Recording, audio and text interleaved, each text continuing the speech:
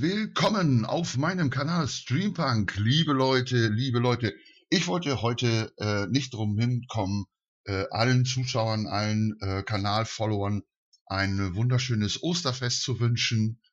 Ja, äh, das sind ja besondere Tage. Auch dieses Wochenende ist ja besonders lang, also auch besonders geeignet, um mal so ein bisschen die Seele baumeln zu lassen. Ja, geht raus, macht Osterspaziergänge, besucht eure Liebsten, so wie ich es auch mache. Setzt euch auf die Terrasse, ähm, auf den Balkon, macht den Grill an, macht euch eine Flasche alkoholfreien Sekt auf, wenn ihr wollt. Ähm, genießt das Leben, tankt Kraft. Die Sonne gibt schon ordentlich Power. Das ist wunderbar. Ja, ich wollte euch hier mal noch so ein bisschen mit äh, Nachrichten versorgen, die ich heute Morgen leider, heute Morgen auf dem Sonntagmorgen ganz frisch gefunden habe. Beziehungsweise zwei, drei Sachen hatte ich mir schon rausgesucht. Ähm, ja, ähm, ja, also es ist, ähm, wie soll ich sagen, es ist interessant, dass unsere Politik auch über ihre eigenen Beine fällt. Ihr habt das sicherlich alle schon gesehen.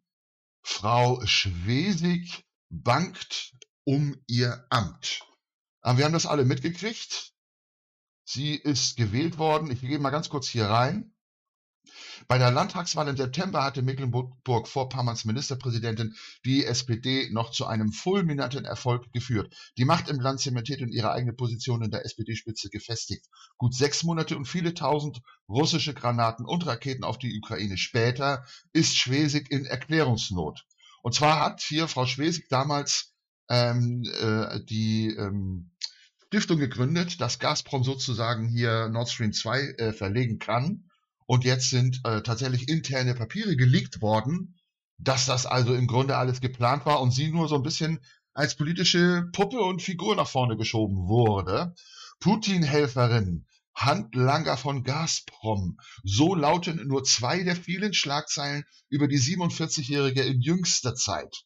Ja, also im Grunde hier ist es auch schon wieder der Faschismus und dieses Schubladendenken unserer Regierung, was wir ja schon seit 25 Monaten erleben, das fällt jetzt den eigenen Politikern auf die Füße. Und das ist im Grunde auch hier wieder zu erkennen. Äh, die Politik geht untereinander äh, extrem äh, unfair und menschenverachtend miteinander um. Und wir wundern uns, dass sie das also auf ihr Volk übertragen. Ähm, die Ministerpräsidentin aus Schwerin hat, äh, die noch kurz vor, äh, die noch vor kurzem unangreifbar schien, muss nun um ihr Amt in der Staatskanzlei bangen. Auch Forderungen nach ihrem Rücktritt gibt es schon. Die frühere Bundesfamilienministerin erhält die Quittung für ihre lange Zeit sehr entgegenkommendes Agieren gegenüber Russland. Vehement hatte sie den Bau der Ostsee-Erdgasleitung Nord Stream 2 durch die unter Umgehung der Ukraine russisches Gas nach Deutschland äh, fließen sollte, gegen alle Kritik aus dem In- und Ausland verteidigt. Und hier wird dann in dem Artikel, habe ich hier bei NTV gefunden, hier auch noch so ein bisschen ähm, erklärt, wie das damals alles abgelaufen ist. Auf alle Fälle hochinteressant. Und natürlich äh, ein Amtor, und das ist diese Verlogenheit dieser widerlichen Politik, ja, äh, da wird das, dieser Artikel wird sogar noch gezeigt. Amtor Schwesigs Sinneswandel ist unglaubwürdig. Einst selbst ambivalent geäußert. Muss man sich mal vorstellen, ja. Dieser Typ hat hier gerade Probleme gehabt vor ein, zwei Jahren mit irgendwelchen äh, Papieren irgendeine, irgendeines, einer großen äh, Anlagekanzlei, äh, Aktien, äh, wie heißen die denn noch? Äh, ja, ähm, so eine Beratungskanzlei und hat selbst mit denen Geschäfte gemacht. Und dieser äh, 17-jährige Politiker meldet sich jetzt hier zur Wort. Natürlich, und das ist genau der Punkt. Ja, auf ihm haben sie auch rumgehackt. Ja, jetzt ist, ist die äh, Schwesig dran. Jetzt hacken wir auf der drum rum, ja. Und das ist es im Grunde. Ein einziges Herumgehacke und wir, ähm, wir müssen da als Bürger, ähm, sind hier auch das Opfer. Ja, äh, opfert Schwesig ihr, äh, ihren Innenminister. Äh, ja, hier wird so ein bisschen Bezug drauf genommen, ähm, dass sie sozusagen hier äh, von den Russen so ein bisschen ja als Figur benutzt wurde ähm, hier spricht zum Beispiel die Deutsche Umwelthilfe, sprach von einer Tarnorganisation und nannte Schwesig Gaslobbyisten. 200.000 Euro steuerte das Land für die Stiftung bei, 20 Millionen Euro Nord Stream 2. Nur ein Bruchteil floss bislang in Umweltprojekte. Wie viel Geld über die Stiftung für den Pipelinebau aufgewendet wurde und ob damit etwa auch ein Schiff gekauft wurde, darüber schweigen sich Regierung und Stiftungsvorstand aus. Ja, es ist, ähm, es ist, es passt einfach alles, ja. Es passt einfach alles von vorne bis hinten. Und ähm, ja, dieses Lügenkonstrukt ähm, unserer Regierung findet sich hier auch wieder in meiner Reaktion. Das habe ich gerade eben gemerkt, als ich dieses Foto gesehen habe. Lachende Ministerin im Niger, Melonen, schleppende Baerbock, begeistert selbst die CDU. Ja? Und das muss man sich einfach mal vorstellen. Die reisen also hier in den Niger nach Afrika und äh, da wird sich also hier positioniert für ein medienwirksames Foto. Ich will gar nicht so sehr auf dieses Baerbock-Bashing gehen. Ganz im Gegenteil, äh, was heißt ganz im Gegenteil, aber ähm, ich will das mal so ein bisschen unbelastet sehen. Das, ne, also äh, grundsätzlich ist das vielleicht politisch hier ganz nett. Ähm, hier unten ist ein schwarzer Eimer zu sehen. Ich weiß nicht, ob ihr meine, meine Maus sehen könnt. Da ist ein schwarzer Eimer zu sehen. Inwieweit da jetzt eine Melone drin ist, weiß ich nicht. Man sieht hier sogar den Rand des Eimers. So groß scheint er nicht zu sein. Es scheint hier ein relativ normal großer Eimer zu sein. Wäre hier also eine, eine, eine Melone drin, dann müsste man sie hier so ein bisschen wenigstens sehen. Aber spielt auch keine Rolle. Was ich sofort gedacht habe, sind diese, sind diese Strähnen, die sie im Gesicht hat. Und ich habe ja mal seinerzeit so ein bisschen als Komparse gearbeitet für verschiedene norddeutsche Krimi-NDR-Produktionen. Hast du nicht gesehen? Filmproduktion. Und daher äh, habe ich so ein bisschen Hintergrundwissen äh, und naja, und dann sehe ich also dieses Bild und denke so, aha, da war also natürlich, äh, haben die ihre Maskenbildner dabei, natürlich zumindest ein, der die Annalena Baerbock natürlich auch entsprechend abtupft oder schminkt oder was weiß ich was. Und hier hat man ihr wahrscheinlich so ein bisschen die Haare nass gemacht, um sie so verschwitzt ähm, ins äh, Gesicht äh, zu hängen. Das kann natürlich auch nur Paranoia von mir sein, aber ein Zeichen im Grunde dieses ganzen Misstrauens, wenn ich also so ein Foto sehe, dann fange ich sofort an zu zweifeln. Und das ist auch, das ist nicht auf meinem Mist gewachsen, liebe Leute. Und euch geht sicherlich ähnlich, wenn ihr die Bilder der Politik seht oder auch die Nachrichten lest, dann äh, seht ihr das sicherlich so ein bisschen ähnlich, dass man also kaum noch irgendwem glauben kann. Und das ist erschreckend, ja. Und Wolfgang Wodak hat was Tolles im letzten ähm, Corona-Ausschuss gesagt, in der Sendung 100. Der hat gesagt, diese, dieser ganze äh, Pharmakomplex und auch dieses Mittel des Impfens, das ist medizinisch gesehen grundsätzlich schon ein wichtiges, ein sehr, sehr wichtiges Mittel, wenn man es richtig anwendet. Und auch der gesamte Pharmakomplex, also die Unternehmen, die dahinter stehen, das war ja bisher total wichtig, dass die Regierung und auch die Bevölkerung hohes Vertrauen zu diesen Pharmakonzernen genießt. Das ist aber jetzt alles zerstört worden. Und damit ist das medizinische Instrument einer Impfung auch komplett vertrauensmäßig in der Bevölkerung zerstört worden. Er sagt, hier ist nicht nur bei den Menschen ein großer äh, Schaden passiert, sondern eben auch ähm, in Bezug auf die Geschichte dieser ganzen medizinischen Handhabe. Und hier mit der Politik ist es natürlich ähnlich. Und das Thema geht ja weiter. Ich habe hier noch äh, einen tollen Artikel gefunden. Äh, Aufarbeitung mit prominenten Zeugen. Hier dreht es sich um die Flutkatastrophe im Ahrtal. Und ähm, hier wird jetzt die ähm, Malu Dreyer, Ministerpräsidentin Rheinland-Pfalz, im Untersuchungsausschuss des Landtags äh, zur Flutkatastrophe im Ahrtal. Dieser Untersuchungsausschuss im Mainzer Landtag, den gibt's schon seit ähm, Oktober.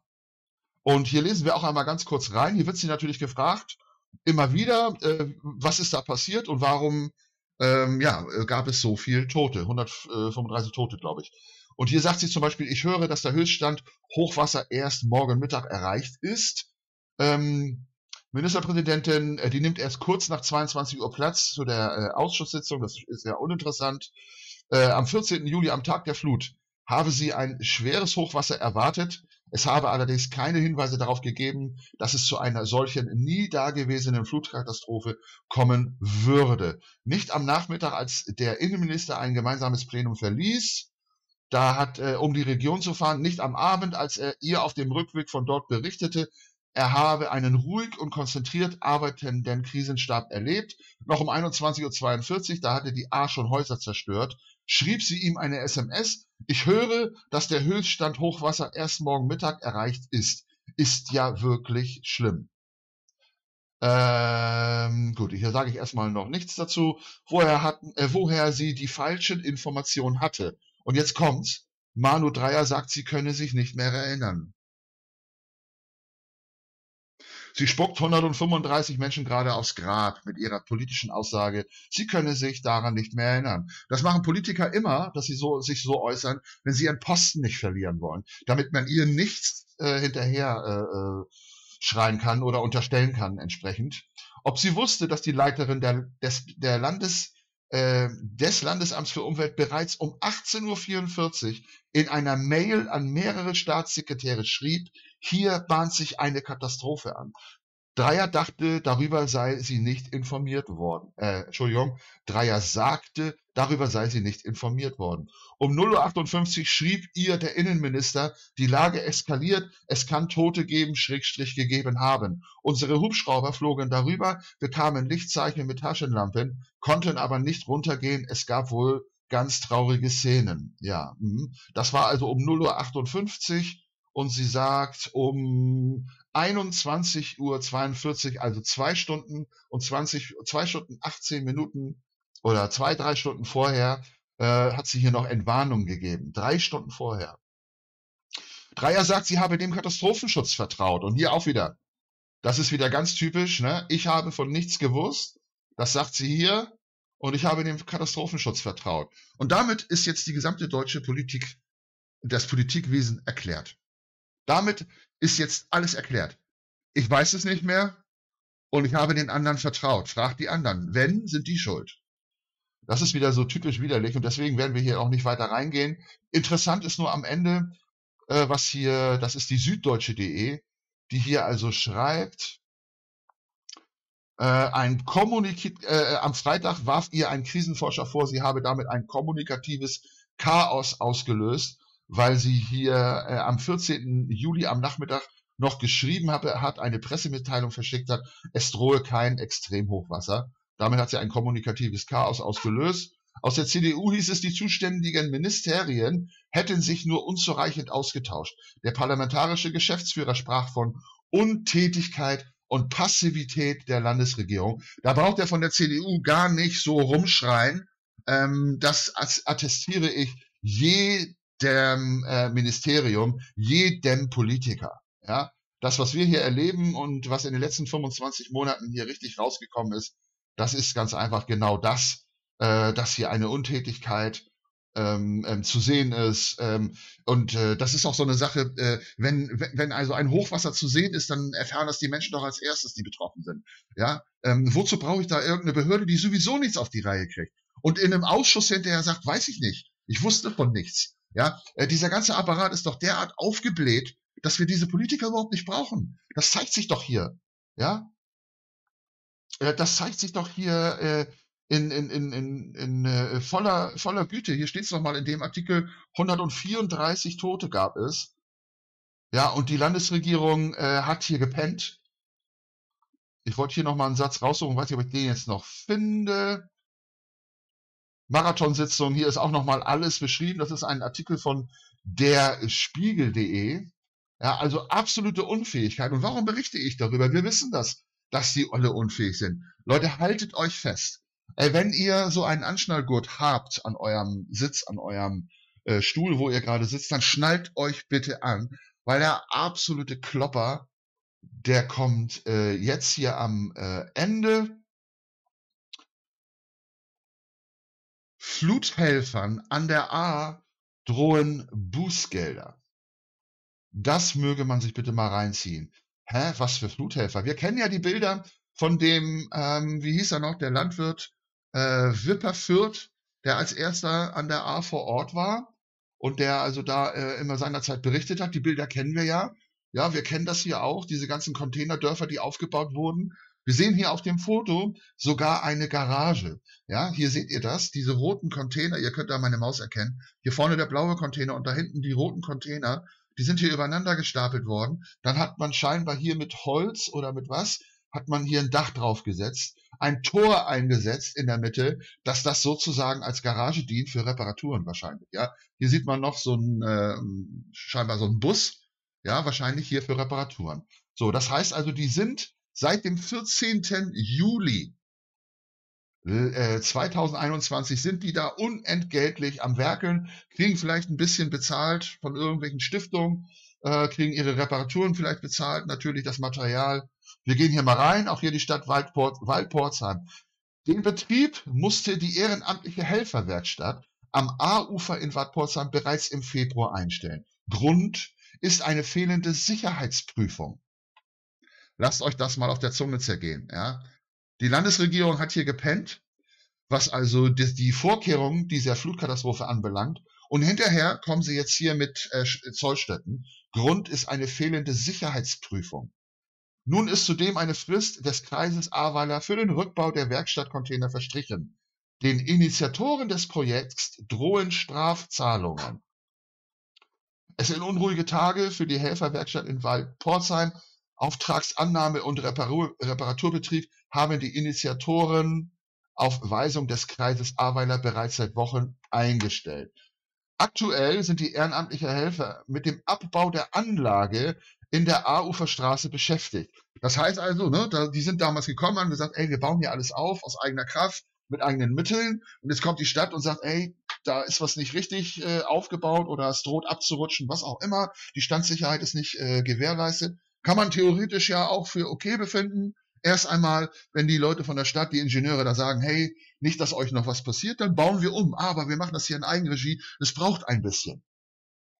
Allerdings, also hier nochmal ganz kurz, äh, die ehrenamtlichen Helfer sind mit dem Abbau der Anlage beschäftigt. Allerdings wird das länger dauern als kreisseitig avisiert.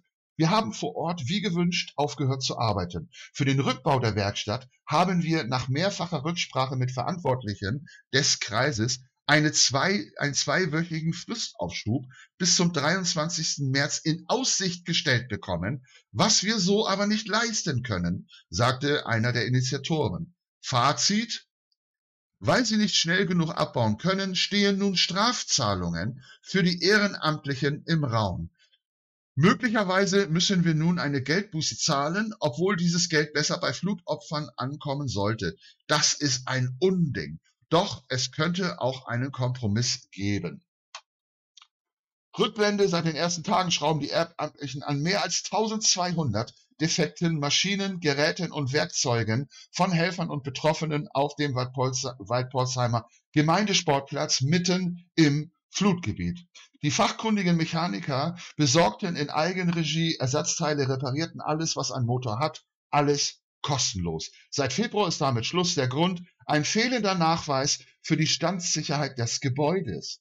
Der Betrieb sollte auf Drängen des Kreises umgehend eingestellt, die massiv befestigten Containeranlagen in den darauffolgenden Tagen zurückgebaut werden. Ein Schock für die Ehrenamtlichen, die bis dahin regelmäßig am AU verwerkelten. Das muss man sich einfach mal einverleiben, liebe Leute. Ja?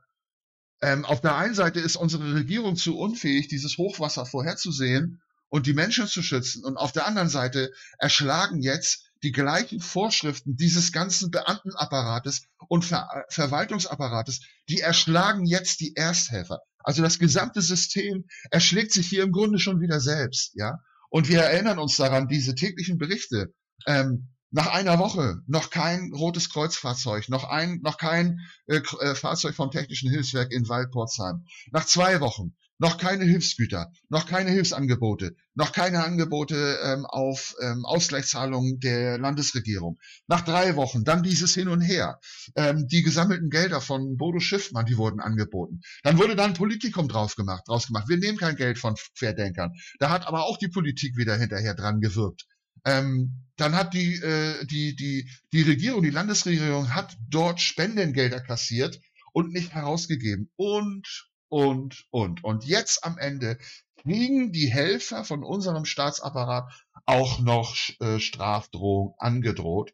Und da muss ich sagen, äh, da, da, da fällt mir absolut gar nichts mehr zu ein. Man könnte fast sagen, ja, das ist so typisch für Deutschland, aber es ist einfach traurig für Deutschland. Und es zeigt eigentlich, in welch traurigem, empathielosen Land wir leben. Ja, zuerst waren es die syrischen Flüchtlinge, wo wir mitgeholfen haben, dass deren Land zerbombt wird. Danach war es die Ungeimpften, ja, die an allem schuld waren. Jetzt, jetzt sind es die Russen, die an allem schuld sind. Und immer nur zeigen wir mit dem Finger auf andere und andere sind schuld. Ja, und da können wir hier an dem christlichen Osterfest uns alle mal, wir können alle mal ganz kurz in uns selber reisen und mal überlegen, ob es notwendig ist, dass wir immer auf anderen herumtrampeln? Ist es eine deutsche Tugend, nach oben zu kriechen und nach unten zu treten? Da müssen wir uns mal Gedanken drüber machen, liebe Leute. Ja, ähm, und dann habe ich zum Abschluss noch eine witzige Nachricht, die ich euch auch ganz gerne noch zeigen wollte. Blitzanhänger auf der A4 gesprengt hier in Nordrhein-Westfalen. Schaut euch das bitte einmal an. Ein Anhänger mit einem Blitzer.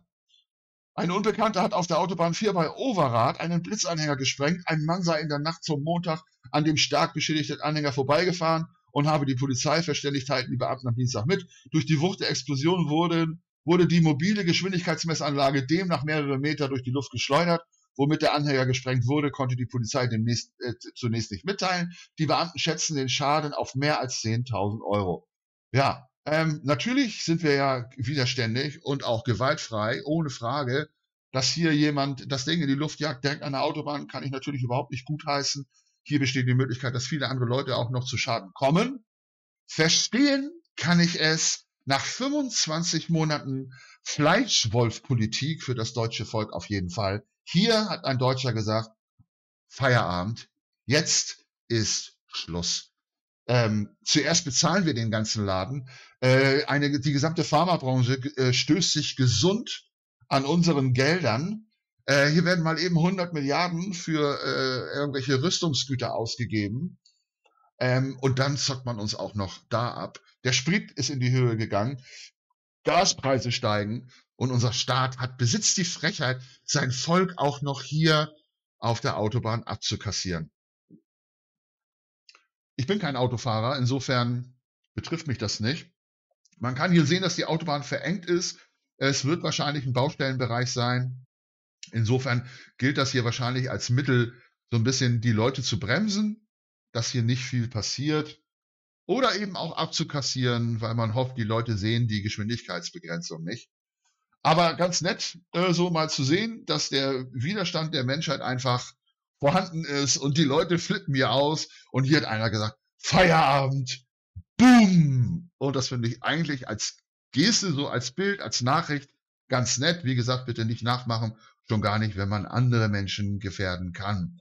Ja, liebe Leute, liebe Leute, nehmt, nehmt die Tage so ein bisschen, um positiv äh, Kraft zu tanken. Die Sonneneinstrahlung äh, bildet in eurem Körper Vitamin D. Lasst es ruhig zum ersten kleinen Sonnenbrand kommen. Das kann man alles wegcremen. Oder ähm, ja, besorgt euch Creme, cremt euch vorher schön ein. Geht spazieren, hatte ich anfangs schon gesagt. Und genießt jeden Tag und tankt Kraft für die Zukunft. Die werden wir wahrscheinlich noch brauchen bei unseren zukünftigen Demos. Liebe Leute, was die Zukunft bringen wird, das weiß keiner so genau.